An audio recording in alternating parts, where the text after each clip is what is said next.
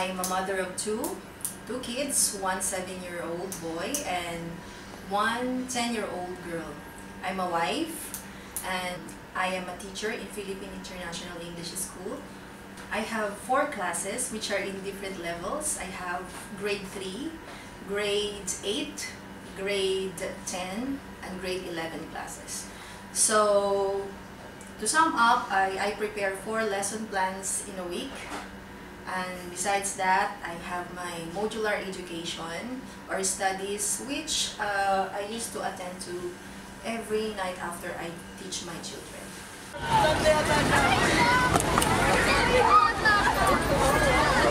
Bye, Teacher Sandy.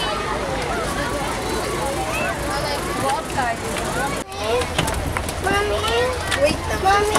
Mommy and PC and I saw you when I got cookies. Um, so, how was your day today so far? Okay, so today is Thursday, right? Yes. So nothing unusual happened today. Uh, as usual, I have to attend to my four classes, Mhm. and then something that something unusual that happened today is that someone was following me. I had a paparazzi today. Secret. Why look, there's food. Mom, there's food. Filipino restaurant. Yeah, we have to buy some food. I will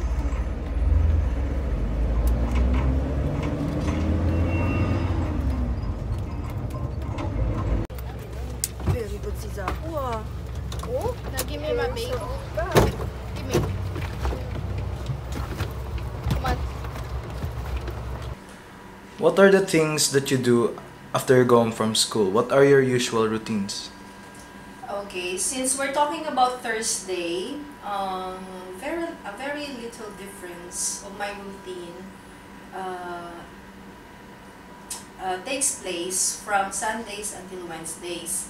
Usually, when we get home, of course, since in my in our mind there's a little psychological uh, effect, just like oh, anyway, it's Friday on the following day. There's no school, so we have a little time to rest. But the usual thing is that I have to still prepare lunch for my kids.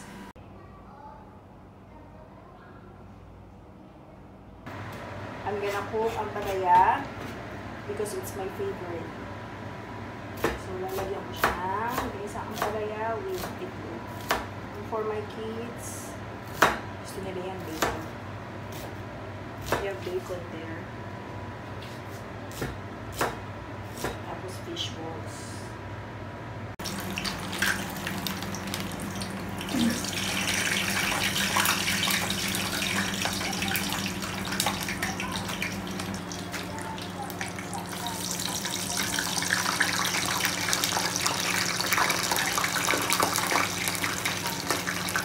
While waiting, and I have to. Ali, Why do you choose unhealthy food? I'm co- I'm gonna I'm cooking ate oh. Yeah, I know, but I'm just so hungry. I could just hold it. Wait lang, we will eat together. You ate uh, noodles three days in a row. It's not good anymore. Aliyah. And then your brother will be jealous, ha? Share na lang with ate. How many days did you eat noodles na? Only one. What? I counted. It's three days. Only one. Sige na, punta na lang. I'll get a little from ate, ha? Bacon.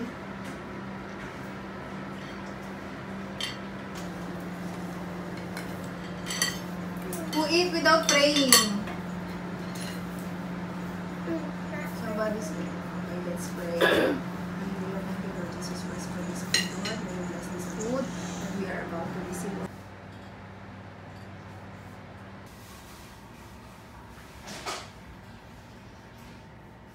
We heard that you are taking up modular studies at the moment, is that correct? Why did you take your education further? Okay. Um, Actually, the question surprised me because I'm pretty sure that information did not come from me. I don't know from who you know that because I'm a private person. I don't tell anything which I do out of uh, school, school things. But let's say um, the information is right.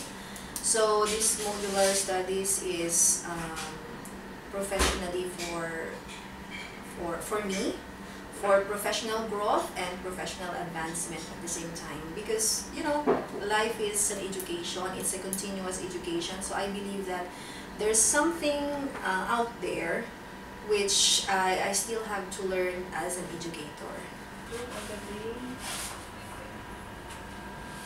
module 3 but i'm not finished with module 2 How have you managed to juggle this additional task while being a mother of two children, a loving wife, and a second mother to your students? I admit that it's not easy. The level of studies that uh, I have right now is much harder than what I had before. I have to divide my time to spend the time for to my children, I to, to tutor them or to teach them, and then do the household chores. And at the same time, at night, I have to see what I have to read, prepare what I have to teach my students the following day. And then here's another studies that I, I, I am in right now. So most of the time, I have to sleep late at night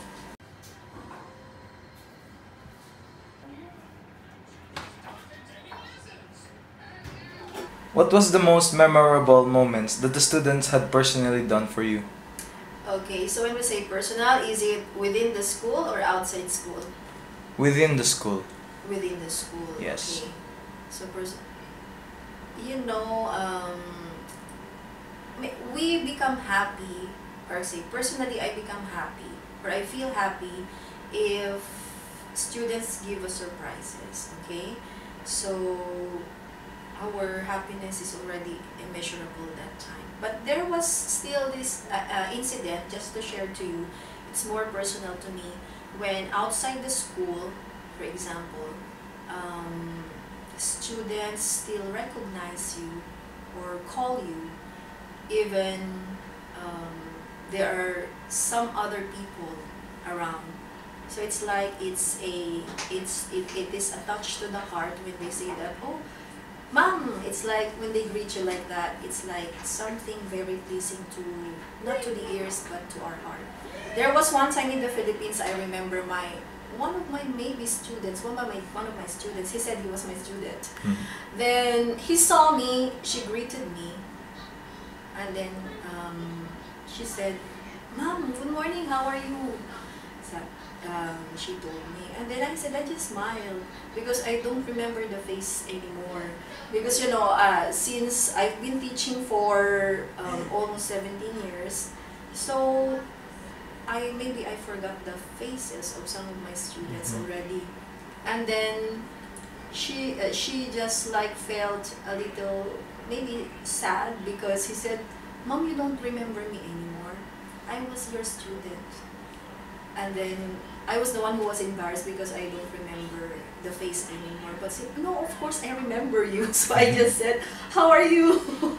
so actually that is something very personal to me because um, when, when you touch people's lives or students' hearts, they can't forget you. You, we may have forgotten their faces, but through the way or our everyday encounter, they remember you in your everyday life.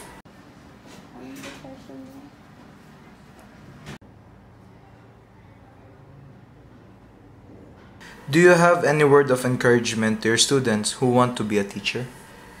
Okay. Um, for those of you who wanted to be a, an educator or a teacher in the future, um, I just wanted to say that there's no much investment in teaching. Um, however, um, if you really want to be a teacher, a mentor, and an educator, um, this is not business. So we have to think that um, our investment is our students. And then the return of investment is that when they succeed in life and they come to you and greet you and say, Thank you, my teacher.